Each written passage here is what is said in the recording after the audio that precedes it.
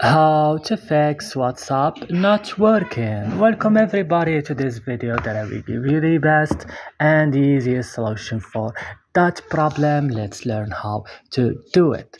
All what you need to do is to open the settings of your device. Click at apps option and right now search for WhatsApp and click on WhatsApp when you find it. Guys, you're gonna find this list, go and click at storage option click clear cache and back after that click force stop and click ok.